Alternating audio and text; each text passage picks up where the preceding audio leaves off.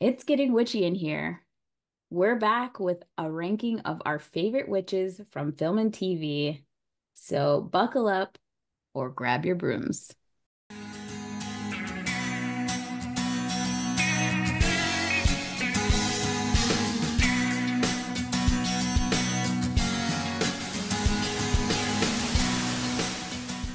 This week on the No More Late Fees podcast, we are joined by Stephanie, the podcaster behind Books in the Freezer, and our friend and returning guest, Laura. Welcome, ladies. Thank you. you guys, uh, well, we're super excited. Love always having Laura come back on. And Stephanie, we have been chit chatting on Instagram for a while. Feels like we're already good friends, but yeah. super happy to have you on. I say back because I want you back already. Why don't you tell everybody about your podcast? Thank you. Yeah. So, Books in the Freezer is a horror book podcast. It's biweekly, and the name comes from that Friends episode where Joey puts The Shining in the freezer because it's too scary. And so it's a book recommendation podcast. So me and a guest will pick a topic or a subgenre like, you know, vampires, road trip, food horror, and we'll each recommend three books within that topic. And then we rank them on a scariness scale that is temperature based because it's books in the freezer. So, like the scariest books go in the freezer and then fridge and room temperature. I, I feel like all the books would go in the freezer for me. I, am a scaredy cat. Danielle does not do horror well. no. I mean, it's subjective. So, yeah. I think the scariest things are the things that feel like they can really happen. Like, mm-hmm. that's why I think I hate those movies that are where someone comes into your house at night or something. Yeah. That always scares me the most. So, that and yeah. critters. Yeah, I don't want anything I can't kill. Like like if it's a person murdering, I'm like, okay, I have a fighting chance. But like mm-hmm. you give me like the grudge, I'm like mm, mm, or it follows. I'm like, there's no way there's no way to win. uh, that's very valid, Jackie. Very valid. I'm still scared of things that I can kill. As we already know, I hate critters. Yep. Specific ones, not good. You don't All right. them. well, let's get into our game. So, we are going to list our top two favorite TV or movie witches, and then collectively we have to rank them from one to eight. Ooh, okay. So, so you might want to be... back up or two because your witch okay. may be stolen. so I'll give us a little time to like okay think of some that and this could be TV movie and it doesn't have to be in our time frame. Okay. Okay. Oh, this is hard. I like a lot of witches. Stephanie, do you want to go first? Sure. I'll say Sabrina, but specifically the Kiernan Shipka Chilling Adventures. Okay. Sabrina. And then should I give my second one too? Sure. Yeah. Okay. My second one, I'm going to say The Blair Witch. Oh, that's a good one. Yeah, I've never seen that movie. I just know there's a lot of runny nose and stuff. it's spooky. Yeah. There you go. It is. Much... There we go. Yeah. Jackie, do you have yours? I do. You're gonna judge me. I will, but it's okay. The, my first one is Hermione Granger. Mm-hmm. Damn it. I knew that one was coming. My second one is Balthazar Blake from The Sorcerer's Apprentice. Oh God, this fucking movie. I it never ends. it never ends. Okay. Not as bad as I thought it was gonna be. I'm you gonna write go last. I don't even know what his name is. You'll have to fill that one out. Laura. Lara. Mine will be obviously the Scarlet Witch. Ooh, we love her. One. Scarlet, my dog is named after her. So that's a given. And I was really contemplating all the witches are great, but I'm really feeling the supreme Fiona Good from American Horror Story. Ooh, I like that. Well, I'm right there with you with American Horror Story. I've got Marie Laveau. I almost chose Marie Laveau. You know, Angela Bassett is a bad bitch on my good day, but when she was a bad She's a witch, witch. oof, Mhm. she played the hell out of that role. She did. And then my second favorite is Bonnie Bennett from Vampire Diaries. She deserved better. That's all I'm gonna say.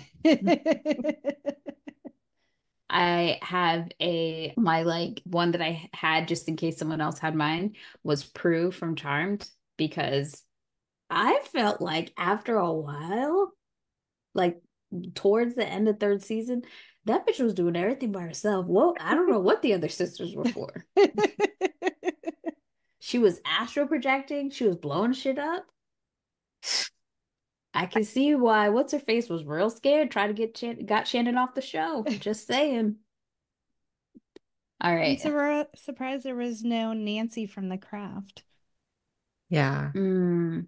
My I was- backup was uh Kiki from Kiki's Delivery Service. Ooh, Oh, that's a good one. I would have said Teen Witch, but when I thought about it, her powers were wasted on a, a weird man and, And a rap making out a rap, mm-hmm. and she didn't do anything for her friend, and she she was in the a crack house with that man, so just never sat right with me. All right, let's see if we can rank these. This is going to be interesting. Any nominations? By Would you- power, by the scariest witch, the most powerful witch. You know, I don't know if we have any reasoning. Just But we, we're gonna we're just gonna fight it out. See, see- Okay. see, who comes on top. I would say Scarlet Witch is up there for me, and then Hermione.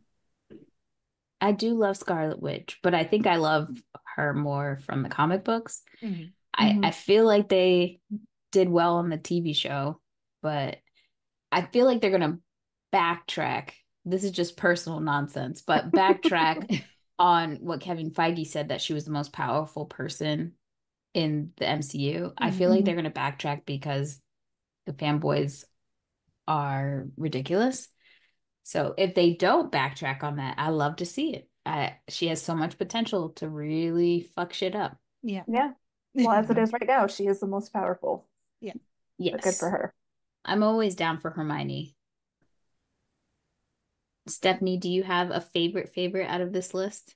Ooh. I am loving the American Horror Story witches. Hmm. hmm Feeling The- a pull towards them. Fiona was the blind one with her mom being crazy. No, that was the mom. Like she was the like the head of the coven before her, Oh, But Jessica Lange, right? Jessica Lange. She, she was Mhm. evil. She I'm was not- real evil. I'm not voting for that one. she I did mean- get she I did get her come up. She did. She absolutely did. She was powerful. so yeah, Angela but Bassett is a badass in everything she does. Always, so forever. Yeah. we can do Marie Laveau as number Mhm. one. she she and I love that it's kind of based on like someone that existed Mhm. essentially. Yep. I just don't Yes. want to see her in my dreams. I would definitely say Hermione would be my second choice What do we because those two idiots would have never gotten through anything without her. Absolutely not. The troll would have killed them. Done. That would have been the end of the series. Yes.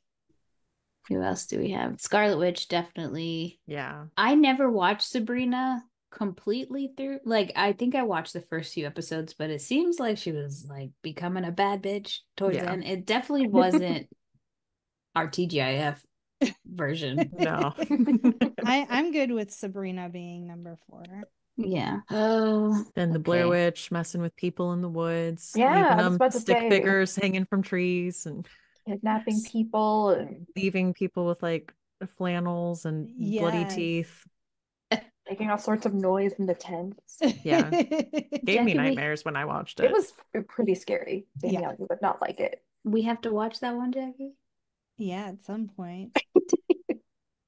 No, ma'am. Danielle has to watch Saw this year, and I am Oh my beyond God. ecstatic. I am not ex- I'm not happy about it. I'm really not looking forward to it at all. I'm gonna have to be just knock me out. I'm gonna be sedated. Eat a cookie and then Just black out. Mm, okay, so what else? We have Fiona left Mhm. and we can Bonnie- put Balthazar at the bottom. where is it from again? The Sorcerer's Apprentice. Yes. Is that Yes. Ken's favorite movie? No, No, it's I love Jackie's. it. Oh. It's Jackie's through and through. I haven't watched it in a long time. Ugh. okay. I guess Fiona could come up. Since I guess none of you guys have watched Vampire Diaries, huh? I was about to Mm, say, like, I can't speak for Bonnie or towards Bonnie. I don't know who she is. She saved all them white kids every fucking episode. and, and then off screen, the damn lady behind the show, both a bunch of ladies behind the show were extremely racist and were trying to kill her off every goddamn time. It got Mhm. so bad that the one of the leads had to say, if you try to kill her off again, I will leave the show. Oh my God. Yeah. wow. Shame. Bonnie Bennett is a bad bitch. And she's only th- and I say she's only this low because you guys haven't seen the show. But everyone else who watches, I know they they know. They're on your side. Yeah. Justice for Uh, Bonnie. All right. I think I think that's good. We're Yeah. good. Yeah. Yeah. So what did what do we got, Jackie? So number one, Marie Laveau. Number two, Hermione Granger. Three, Scarlet Witch. Four, Sabrina from the Chilling Adventures. Five, Blair Witch. Six, Fiona Good. Sorry, I had to look up her last name. Bonnie Bennett at seven, and Balthazar Blake at eight. Was that the job. Nicholas was that the Nicholas Yes. Cage character? Okay. Yes. Okay. Not the apprentice. Does he Not- become a witch later? Apprentice not apprentice? Yeah, he has to learn how to be a sorcerer. Mm, I might need to revisit that movie again. It's fun. It's based Fun on it's based on um the Disney movie, right? The with Mickey Mouse with the witch powers. It, it has some like nods to it, but it's not. Fully there. Yeah. Okay. So we have a question for everyone. There have been rumblings that we might get a practical magic too. No, it's full on. They're Oh, is doing it? it. Mhm. Okay. Oh, well, we have confirmation that they are getting we are getting a practical magic too. So what are some things we want to see in the sequel?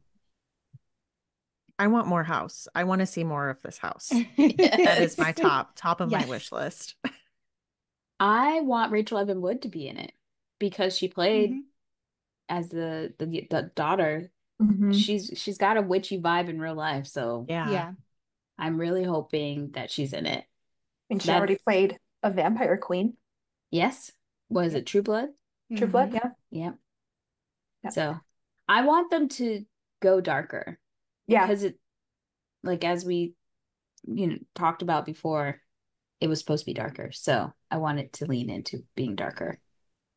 I want more magic, and I really want to see more of Sally, Sandra Bullock's power. They talk about it in the first movie, but we don't really get to see her full potential. So I want to see more of that. Yeah.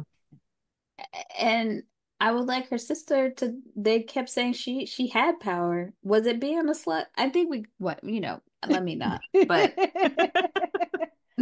I want to make sure that Stockard Channing and Dianne Wiest come back. Yeah. yeah. I love them so much as the aunties.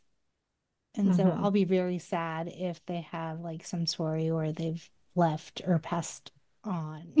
I don't see why not, why they wouldn't be in it. I mean, they're still Yeah. alive, so and I, I'm Might assuming, well. yeah, I would love the the original director to come back too, but I I haven't seen him sign on yet. It's just those two, the original one of the original producers and the composer. No, th- not the composer. Sorry, the writer of the screenplay.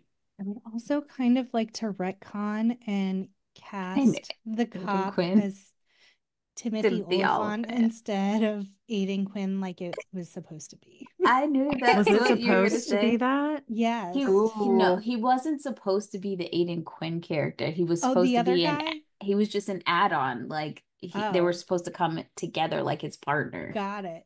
Yeah, I want Timothy Olyphant in every movie. Always. with his gray hair, I think it would be Ooh. hella spooky sexy. he knows how to play a cop. He was one in Justified. That's true. Very true.